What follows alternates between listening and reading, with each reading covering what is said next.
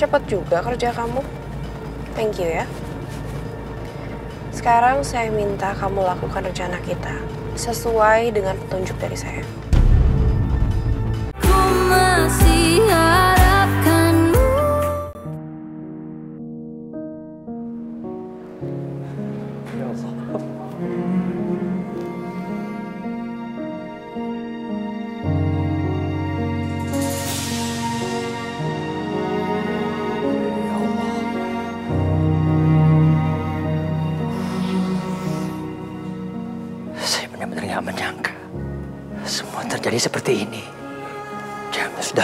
sekali ikut sama saya. Jasanya Jamil itu begitu besar buat saya, Pak. Jamil, terima kasih banyak ya. Kamu sudah memberikan yang terbaik buat keluarga saya. Untuk semua keamanan keluarga saya. Maafin saya. ya.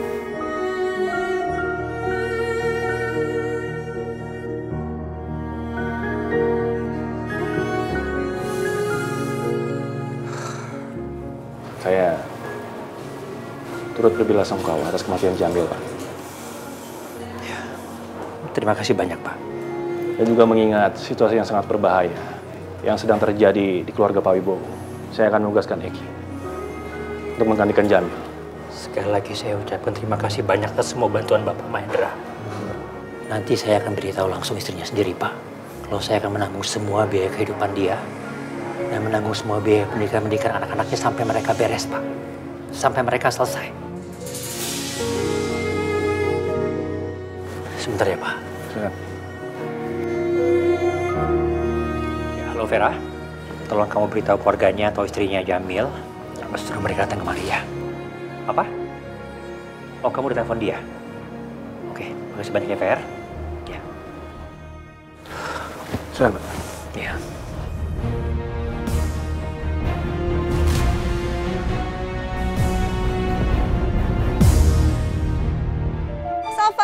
Sayang, nak. Ini mama sayang, mama jemput Safa. Safa, sayang, Safa. kita pulang yuk. Safa. Safa. Kalian ngapain sih berisik-berisik di rumah orang? Mau apa kalian ke sini? Saya mau jemput anak saya. Safa pasti ada di dalam kan? Mana bos kalian? Mana Safa? Pak Gani belum pulang dari pagi. Masa bohong deh. Dibilangin nggak percaya. Pak Gani memang belum pulang sejak pagi. Dan pada kenyataannya, Pak Gani saat ini sedang tidak ada di rumah. Ya, Bapak dengar teman saya berkata apa? Pak Gani nggak ada di rumah. Jadi lebih baik Pak Bas dan Bu Nuna silakan pergi.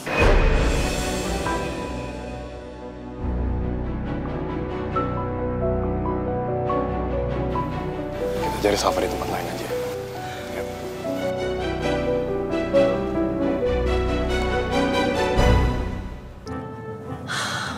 Jadi semakin khawatir, Bes. Sampai sekarang kita nggak nemuin di mana Mas Gani. Apa mungkin Mas Gani memanfaatkan situasi ini ya untuk membawa Safa pergi?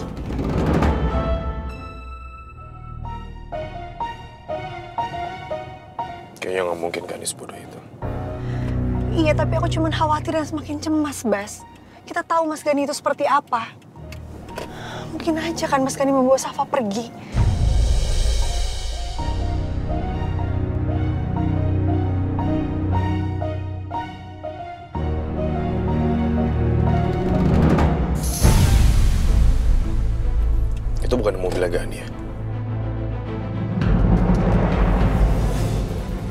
Iya, kamu benar, Bas. Itu mobilnya Mas Gani. Aku ada ngeliat dari depan deh mobil Gani. Jangan, Bas, jangan. Nanti yang ada kita akan ribut. Aku takut itu akan berdampak buruk untuk kita dan juga Safa. Nanti malah Mas Gani yang diuntungkan dalam situasi itu. Iya. Kamu bener.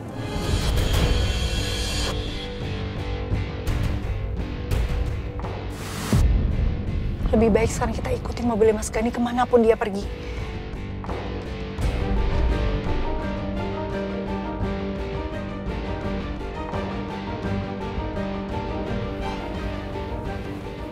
Kenapa Mas Gani malah belok ke arah rumahnya Papa ya?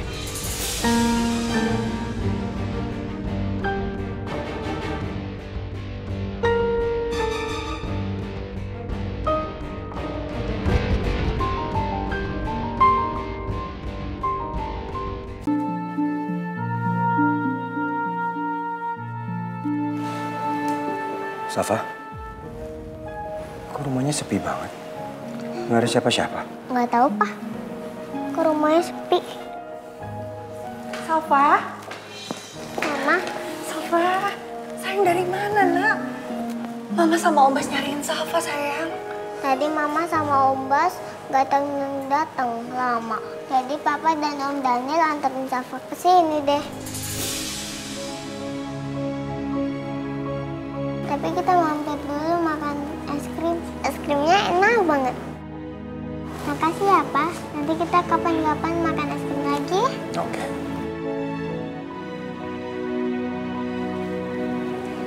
Kamu antar Safa ke dalam kamar sekarang. Iya, Bes. Sayang, kita ganti baju yuk. Bersih-bersih, ya? Ayo, Mah.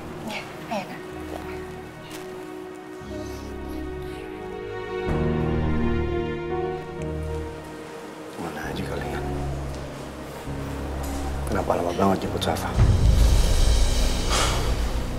Siapa yang izinin kamu jemput Safa? Hah?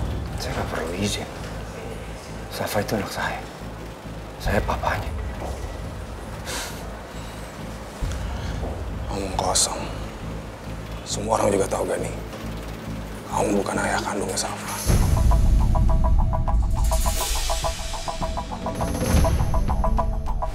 Saya nggak suka dengan ada kamu kamu. Kamu sudah mengambil istri orang.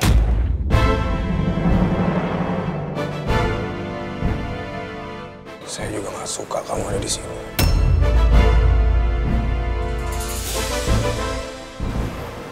Lebih baik sekarang kamu pergi dari sini. Dan nggak usah banyak ngomong.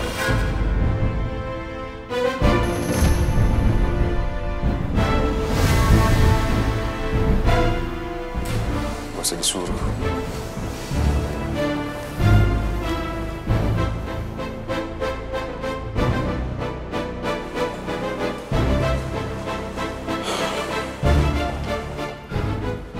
Ada apa ya?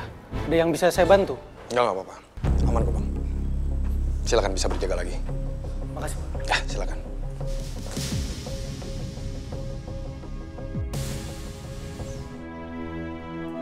Assalamualaikum. Waalaikumsalam. Ya Allah. Alhamdulillah. Ya Allah, nak. Akhirnya kamu pulang. Oma sama Tante Vera khawatir nungguin kamu gak pulang-pulang. Iya sayang, Safa pulangnya sore sekali. Kita kan jadi khawatir. Ya, Oma maaf. Tadi Safa pergi dulu sama Papa. Ya udah nggak apa-apa, yang penting Safa pulang selamat ya nak ya.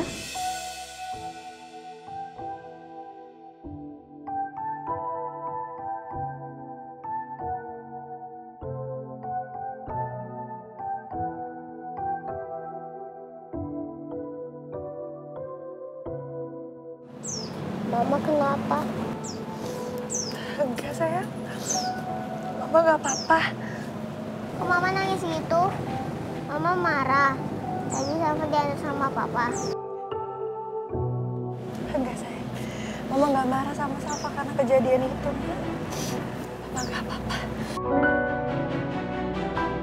Mama kok tangannya gemetar kayak gini? Mama sakit.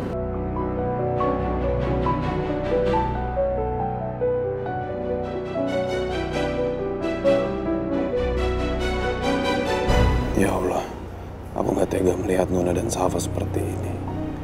Terlalu banyak hal yang sudah mereka alami yang membuat Nuna terguncang seperti ini.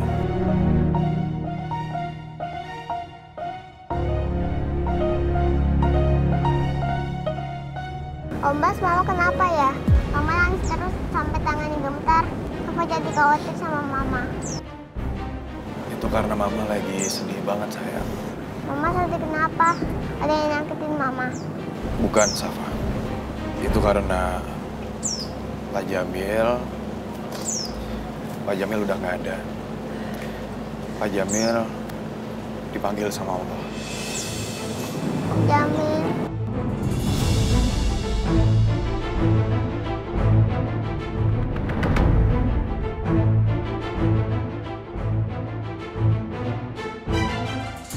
Pengkhianat itu pikir dia siapa? Jelas-jelas gue bapaknya Safa. Dia ngelarang gua untuk ketemu sama anak gua sendiri. Gua ada otaknya itu orang.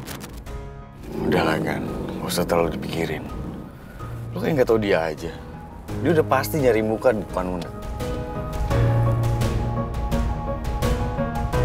Kita emang harus cepatnya mencari bukti kalau Dipta itu masih hidup, Bang. Kita udah berhasil mendapatkan kelar ya. Semua tinggal tunggu waktu, Bang.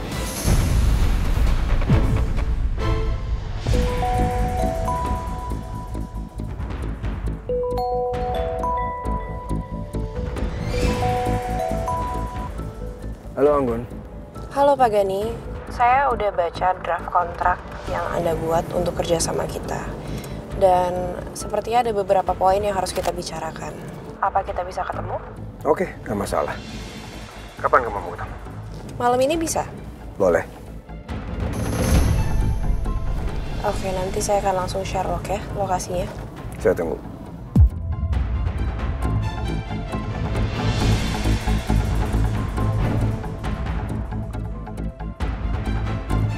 Anggun ngajak ketemu. Iya. Oke. Semakin sering ketemu, semakin baik kan. Lu pasti bisa manfaatin ini.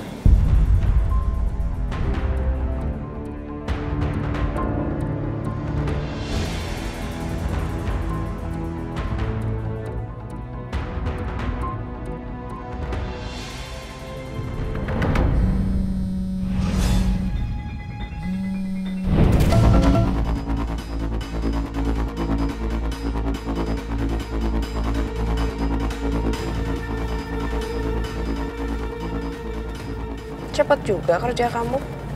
Thank you ya. Sekarang saya minta kamu lakukan rencana kita sesuai dengan petunjuk dari saya.